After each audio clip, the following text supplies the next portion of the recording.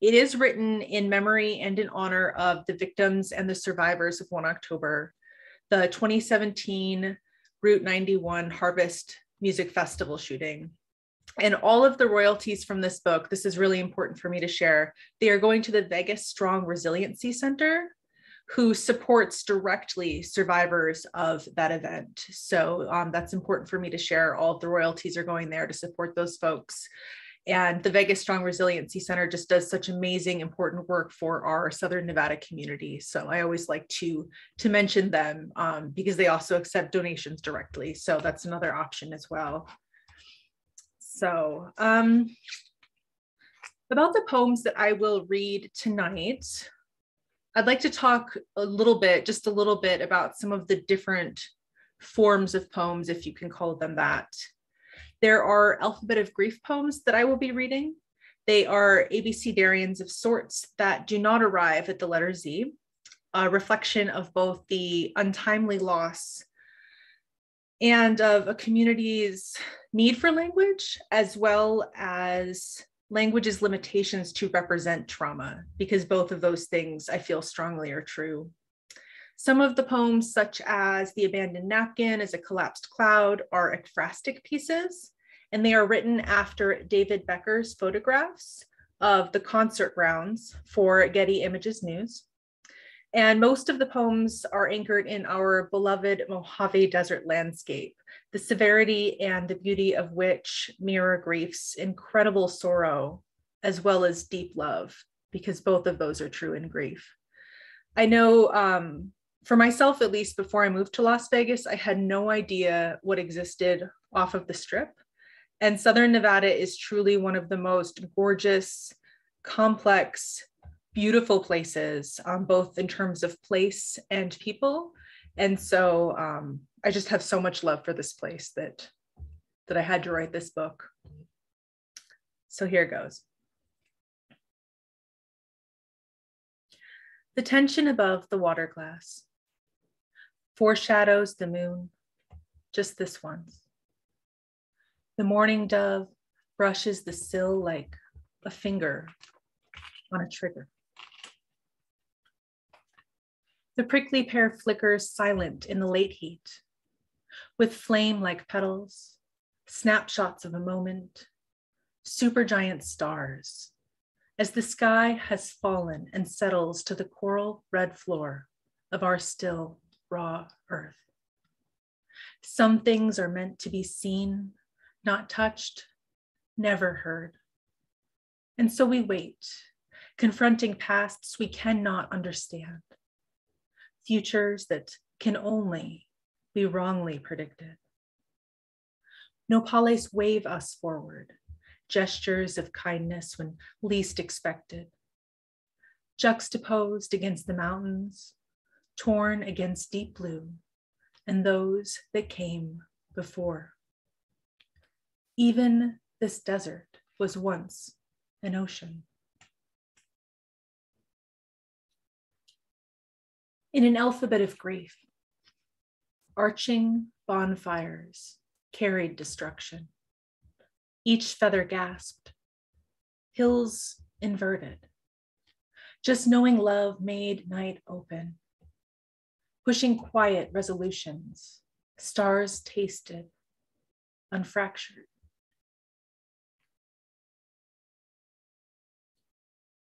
The abandoned napkin is a collapsed cloud, which is to say, we leave it behind.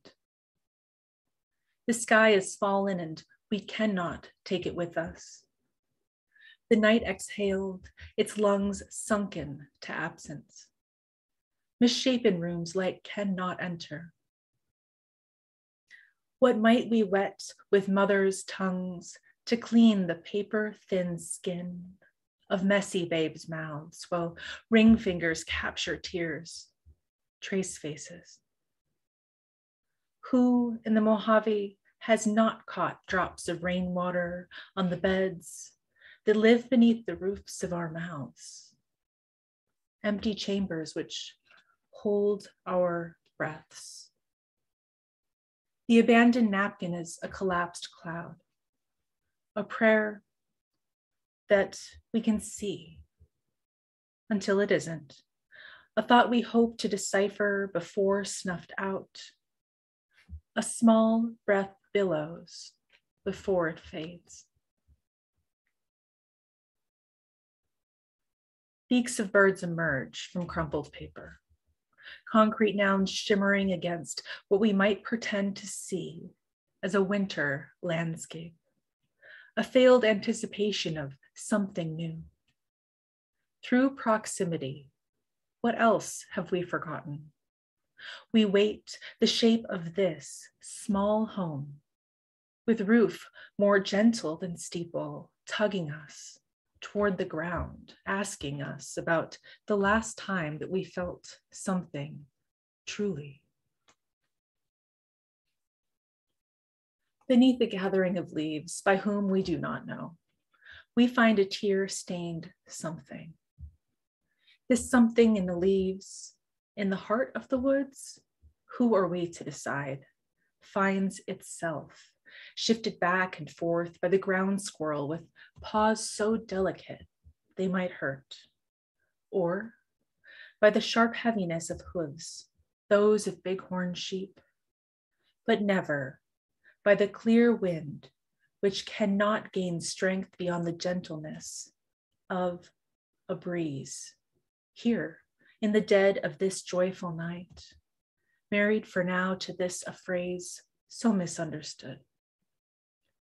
Oh, to be something that is undefined, to be something that is yet to be. I walk toward the hills and cannot remember your name. You warned me in the night I would forget the deepest angles, the sleep swept octaves of your voice. What else have I capsized? I dog your pages to temper swollen verbs, phrases posing without shadow, moving forward without doubt. Our shared words now lifted like pollen skyward, becoming the stars. You deserve to be remembered.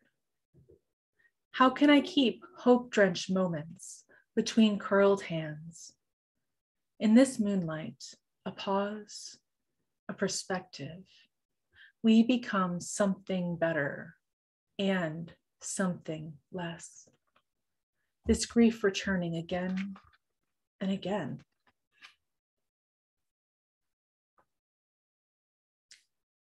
Through rapture come undone, we sift through failing points of view. The sand breathes beneath the sky respirations of sunlight, as if settling like snow to the earth.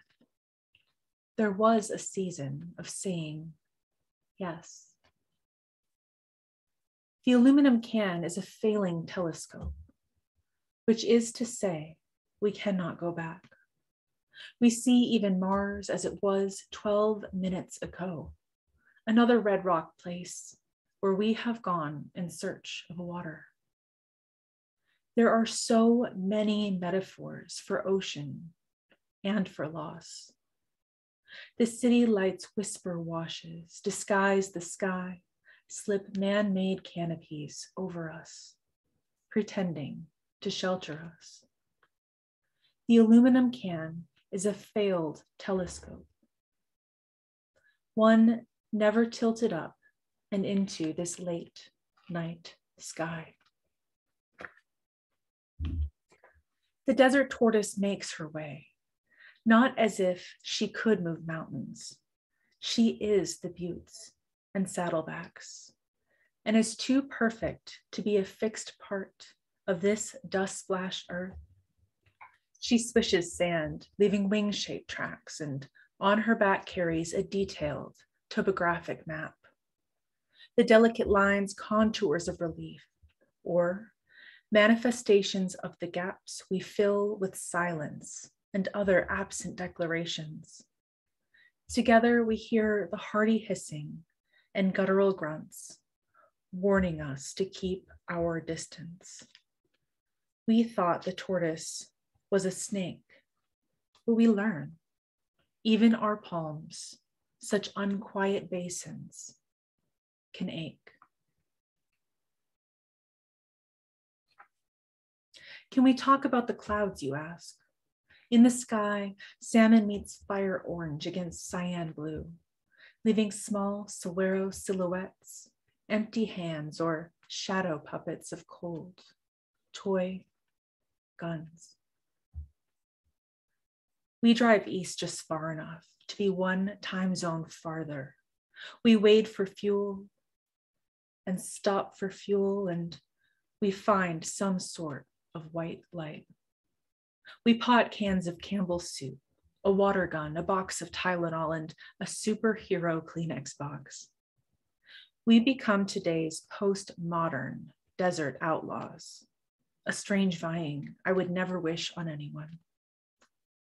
We are silently drowning one moment at a time, and it is always to that same goddamn that's not love song, which leaves me wondering what is set to repeat? But oh, honey, yes, there is water still here in the Mojave. You tell me about the excitement of igniting a tumbleweed, and I think of a cage turned outward, protecting empty space within. I contemplate what we should do only in a controlled environment or not at all. Bring me all of your worst ideas.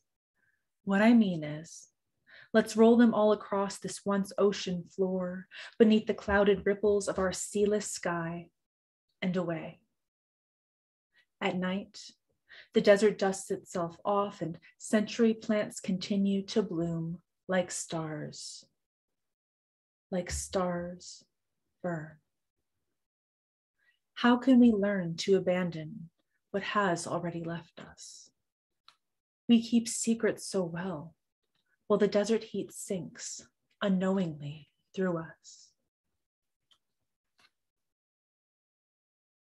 Your hand, a basin lifted up from this earth, brought skyward and emptied of rivers, of pond, of gravity, for this, a quiet kind of love Promise me you will go on. Feel the percussion of tears, the moon as emptiness, traced and brimming with promise, because both can be true. With dreams being antlers we shed with whims outside of our control, with the fox's tufts of hair being silky pairs of beds within hungry, prayer like ears, distant and open for broken ideas, once gorgeous. Thank you so much, folks, for listening. I'm so grateful to each of you. And thank you again, Summer, for everything. Thank you. Thank you with all my heart.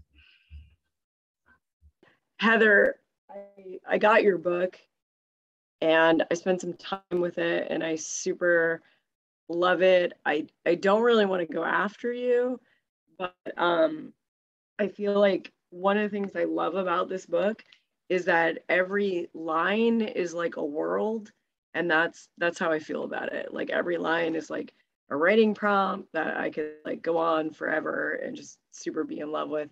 So I am honored to share the space with you and um, your book is super important and I'm gonna read about smaller problems than like gun violence. I'm gonna read about um, bad lungs and bad, bad relationships. Um, I have cystic fibrosis. I was diagnosed as adult, and uh, so I wrote a book about it because that's what I do. um, all right, and y'all cut me off when I'm gonna read a couple poems from the book. Oh, this is the book. Who's gonna love the dying girl? Oh, look, some of you have it. Um, and and then I'm going to read a couple of new ones, and then I'll have you on your way. Um, thank you to Unsolicited Press. Um, I'm going to say a, a quick thing about like I had actually given up on ever getting this book published. Like I had sent it out, it got rejected, rejected, rejected, rejected. No one wanted it. No one wanted it. And then like I was like, well, you know, maybe I'll still try. And I found, and I don't even remember how I found it, but I got to the unsolicited press website, and anyone who knows me will know this is how I found my home. It said no bullshit, just books. And I was like, fuck yeah. Sorry, children in the room. Fuck yeah. That's these are the people I want to put out my book. And I sent it to them, and thankfully, we felt mutually the same way about each other. And I'm super grateful. I'm so grateful for this opportunity. And I looked at, I mean, I didn't just send it, I looked at the books and I was like, all oh, this looks like great. I love it. And yeah. Okay. Thank you. My friend Andrea is telling me that her child is okay with hearing my bad words. All right. I'm going to start out with the opening poem in this book called A Litany of Bad Decisions, which could be also my autobiography. A Litany of Bad Decisions, Part One Omens. The only remaining correspondence between the two of us, a New York Times article about Marfa, and a reply of Yippee, Jon Krakauer's Under the Banner of Heaven on audiobook, Mormonism, Blood Atonement, a six hour drive through desert.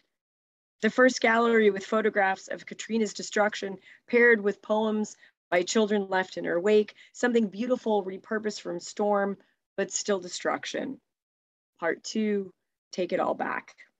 Some farm to table restaurant with a name that involved chicken and electricity, where you bring your own wine, a loud, sophisticated couple middle-aged couples, tipsy and deep, deep in conversation, us silent, draining everything we brought. A bar afterwards, a folk singer finishes his set and we talk too long about Club Passim. We meet a couple and you tell them you're from Brooklyn and I say, but you're from Connecticut. All of your drinks on my tab, scotches piled upon scotches, then a Milky Way themed trailer that sells grilled cheese. You screaming at me from a beanbag chair, everything misshapen in black light and so twisted. I walk out and back to our rental alone through pitch black streets with no real sidewalks. Who's gonna love the dying girl? It all unravels.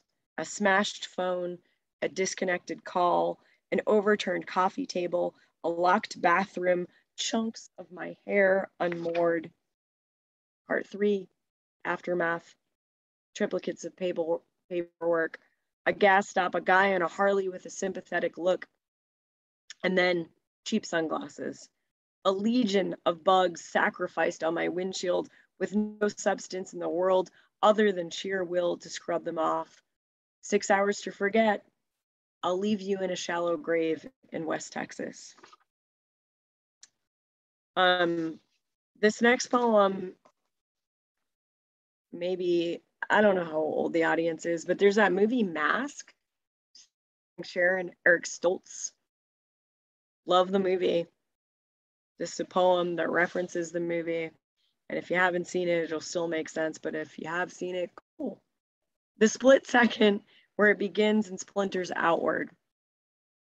There is that sharp moment when you first feel pain, when the initial sting stabs through your nerves and turns into everything you've ever done wrong in your entire life distilled into throbble into tangible throbbing. In the photograph the cop took it begins with a few slashes of red a puffing not that bad. The next day everything is deepening. Swirls murk green and purple. I think about that scene in mask where rocky is trying to teach the blind girl about color She's been blind since birth, has no concept of what colors mean. He wants to show her, leads her to the kitchen, heats up a stone, places it into her unsuspecting hand, and says, This is red. He takes another stone from the freezer and says, This is blue. And for green, he, he presses a clump of moss into her open palms. He puts her own hands to her face and says, beautiful. When she asks to feel his disfigured face, he hesitates, then relents and says, It feels okay to me. I used to think this moment when she presses the contours of his face was perfection. Now I want her to be able to see his face and still say it's okay. Later on, I touched my own face where yellow slights along edges, and I can't remember exactly what hit where and at what angles. Um, I do a lot of eavesdropping in writing, and this is a poem that came out of that. The ever present pink sky. In a coffee shop, a man says the girls in his daughter's kindergarten are slicing each other up. One minute, Susie is their best friend, and the next, she's over it. The boys, they start then. One day, she's all about Liam and Solomon, and the next, they're over Liam and Solomon. In poems, God, God's hand reaches into your puppet body before you die. You have no control. Somewhere on a balcony of a once glorious hotel with toilets that run too long, you're trying to find where a relationship ends. At your feet, neon pink Mardi Gras bees, a discarded plastic tiara, crickets dead in corners, beautiful crystallized shells. You try to relish cracked paint on doors, and shouldn't cracked paint be enough? something splintered from its intention to stunning pattern. Having children thinks you makes you think of your own mortality, and I think dying makes you think of your own mortality. Um, okay. I'm gonna read some sick girl poems. this one um, when you have cystic fibrosis, you go to a children's hospital. I don't know if you know that. It's because people with CF don't um, live that long, but now they do. And I'm on this beautiful gene cure medicine and everything is great. But I wrote these poems when it wasn't. So this is called In the Waiting Room of the Dell Children's Hospital CF Clinic at age 40. The Disney princess pictures and Finding Nemo posters haphazardly tacked up at registration cubicles where nurses wearing cartoon scrubs remind you of the fact you are supposed to be dead by now. Even your medicine reeks of childhood, Asian hamsters. Imagine a tiny syringe extracting secretions from their genetically engineered ovaries. Remember that fragile hamster you owned for three days? It got cold and it died water removed from flame, but that one death, you cried more than all the others, not because you knew it best, you loved it best because it was the most beautiful. Is there some kind of strange beauty and slowly dying of a child's disease, but not knowing until decades later? You never got out of gym class or to make a wish to meet Damien Rice or top the other girls' sob stories at Whitney Shoemade sleepover when they kept playing Richard Marx's hold on to the nights and crying. How do we explain something that took us by surprise? Now you can't remember if you had nothing to share because you're not really a joiner or because you walked in late and they were already crying. All right, um, I don't know if you all have, uh, well, okay. If you've seen the movie Five Feet Apart, they made a CF movie that was kind of good because Cole Sprouse is in Riverdale. He's super cute. Um, but I don't know. There are some things about it that irked me. Um, so I had a student who cataloged the lives of tropical fish and he shared his nerd journal with me once. He called it his nerd journal. I didn't call it that. Um, and I wrote a found poem on it and expressed my anger at this movie a little bit. So this is for my student, Matthew. Uh, this is how it is. In the young adult book turned movie about my disease, they keep describing the tubing, how the main character still looks cute with cannula up her nose. The author labors over vials of hypertonic saline and strategically organized med carts with cupfuls of crayon, pages of flow vents and afflow vents to ensure authenticity. When they kill the unnecessary character to prove the disease is terminal, he is just a slight blue on the floor, unmoving, while the nurse weeps over his body. But there are only two mentions of phlegm, and even those are treated like delicate renderings, nothing deep green or thick or bloody or draining down someone's face, or coughed up so hard the patient vomits all over themselves while sitting in traffic. I wonder why there's no scene where the main character shits herself while using her shaky vest and has to shower and clean her sheets before rushing to work, where a student shows his nerd journal, where he catalogs the daily care and lives of his tropical fish. And I think, yes, this is how it is. As I read his description of a molting porcelain crab who is swarmed by nacreous snails because they smell death, and so they rip both claws from his soft shelled body. Um, okay, I have some people here who are from my hometown. So shout out to Massachusetts because I think this poem, like I read it for some Texans recently, and I don't think that they knew that this was a thing that you could do. It's called The Lobster. Nigel regrets his rap days. I made mixes of emo songs I loved 10 years ago. In Texas, he's divorced and I'm dying, but back home, there's him in a tracksuit performing in Kim Sherry's Kim Shorey's basement. And then there's me loving it. I'm Rob Base and I came to get down. This is what adults do.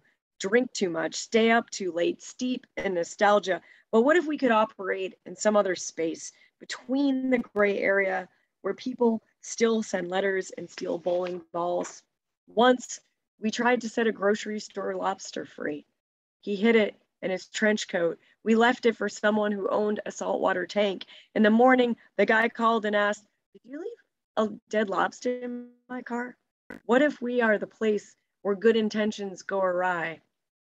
Some of these poems I got to read in the accent, which I've lost over the years, but you know, it's still there.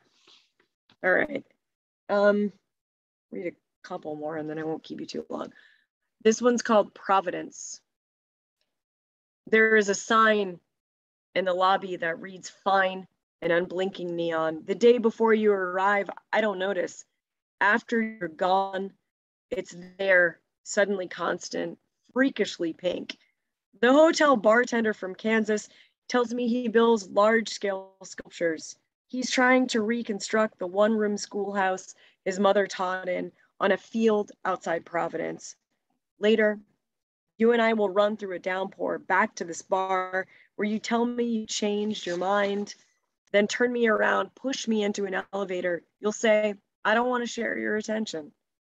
I want to tell you, I know about parasites.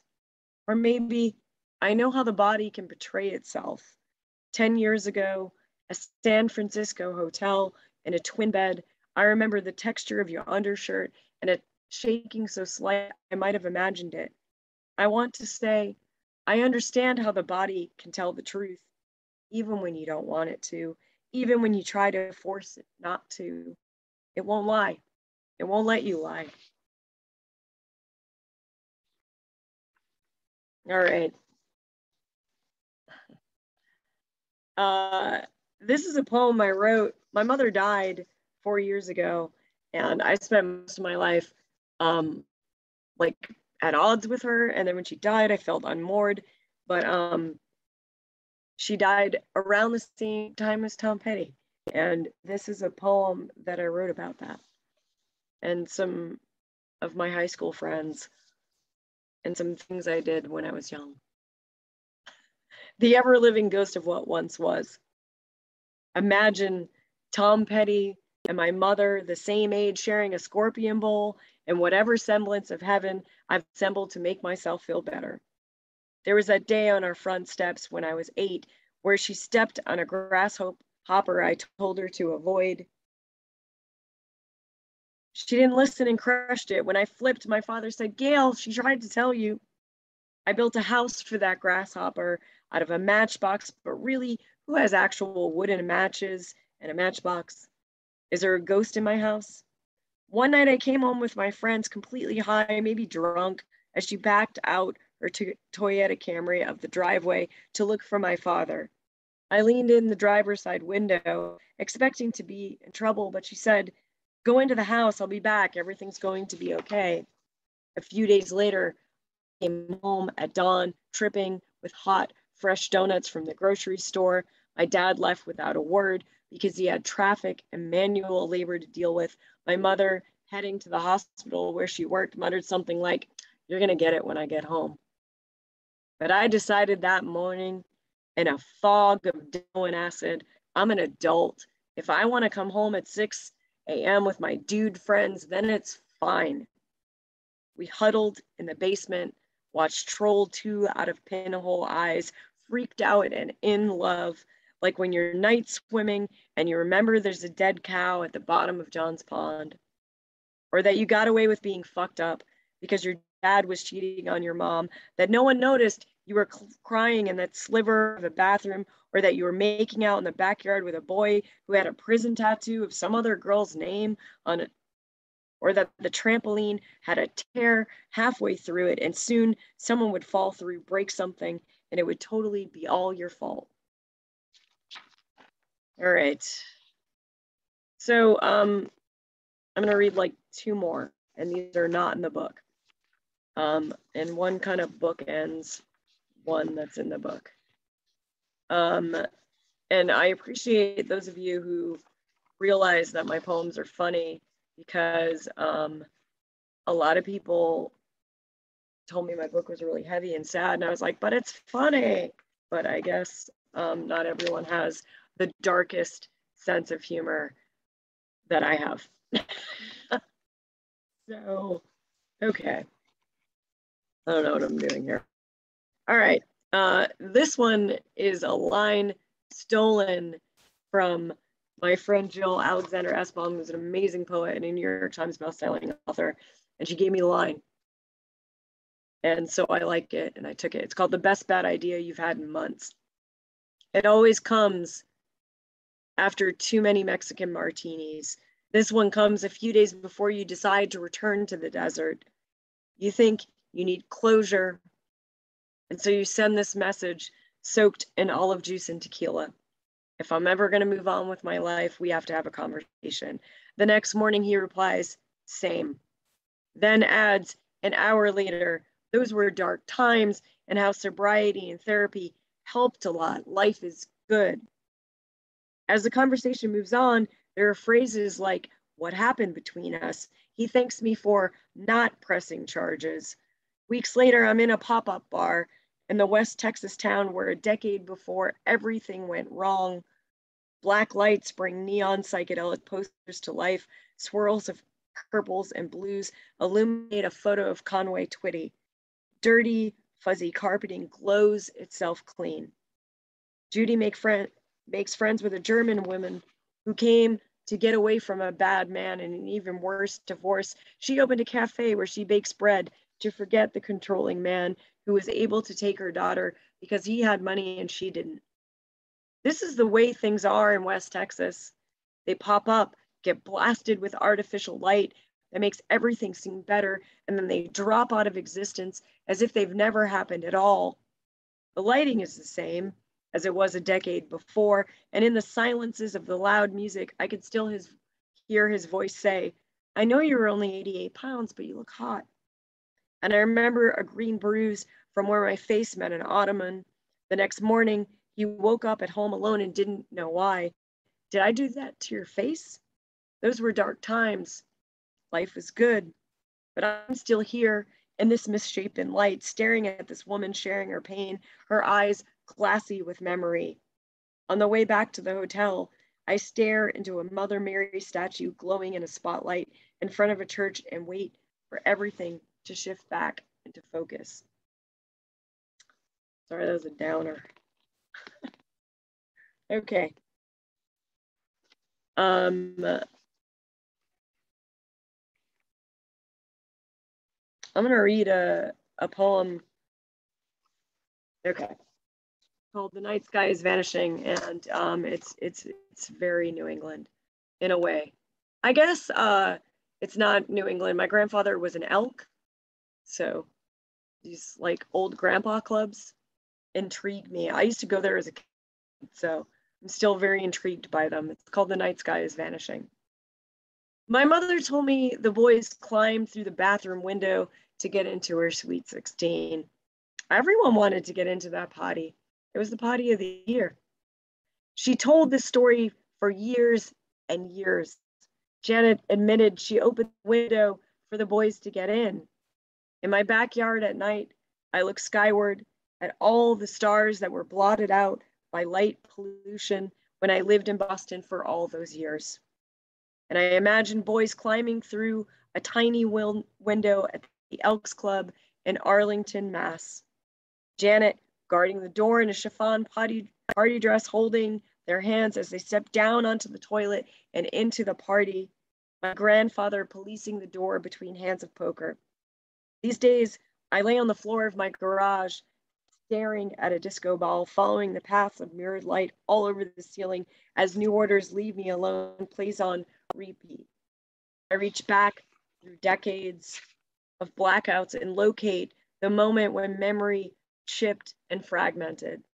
I try to figure out how some stories solidified and repeated, and others turned to smoke, rose up and dispersed, tried to find pattern in what I remember and what I've forgotten.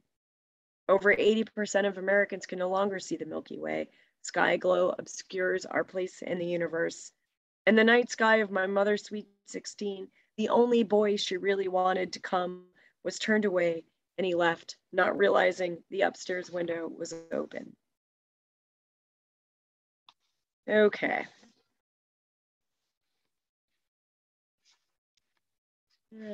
Okay.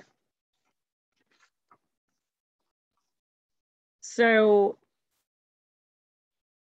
this poem is um, called The Giant Cocktail.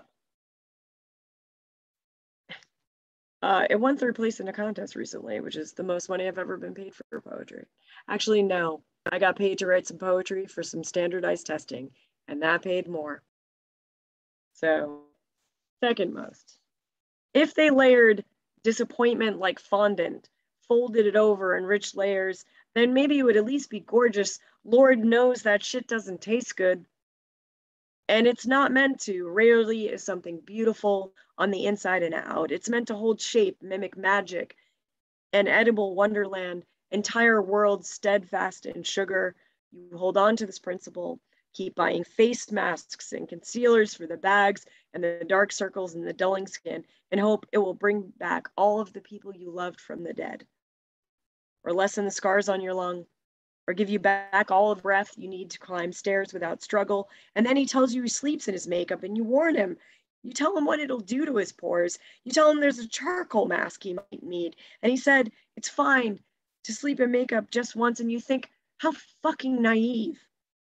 Because you can pinpoint the sunburn from this past summer where you got drunk on Zima, passed out on a neon pink float in your two foot backyard pool, and fucked up your forehead one mistake and indelible lines assault you forever. But you weigh the damage against this. You floated, listening to Belle and Sebastian in the backyard of the house you now own, trying to remember the first time you snuck a Zima. Or maybe you didn't have to sneak it because the owner of Al's Pizza let you try it. It was new. You had that first sip and thought, this is nice. You didn't have lines then, but there was the grease of the pizza shop in mid July, coupled with the New England waterfront air, both so thick they clung to your white polo and wouldn't let go until they left their mark in bacne. All right. I'm going to end on uh, this sort of happy poem. During the pandemic, I became obsessed with the Monterey Bay Aquarium live cam I don't know if any of you watched it, but it shows you what, yes, Maya's like about this. So I would like, you know, I couldn't leave my house. I had cystic fibrosis. I was stuck there. Everyone, everyone was like, stay home, Bree. You're gonna die. And so I stayed home. And I became obsessed with the Monterey Bay Aquarium live cam because I love an aquarium, but also I love like the live cam brought me life and I was obsessed with these otters. So this is called Brightwater Days. There were Brightwater days where everything felt feverish and you snaked through them, coiled and deliberate as a rattler. The flowers you stole from the neighbor's yard and kept in small jars all around your room made you believe in grace. You were rich back then, felt hope deep in your bones. But now, even your bones are disappearing, shrinking each year, all that promise seeping and hollowing out until you're as light as a hummingbird. But even if you could rise up and out into thin air, it's riddled with everything that could kill you. One deep breath could suck in all the dangerous colonies you fear most. You will not become Superman. But this morning, you watched otters from across the country for hours on a live webcam. You were transfixed as they cut silky loops through briny brown water. You believed in their joy as they tossed candy pink buckets into the air. You believed in love as they swam twisted around each other. You even felt it inside your empty bones. Thank you so much for listening, everyone. Thank you.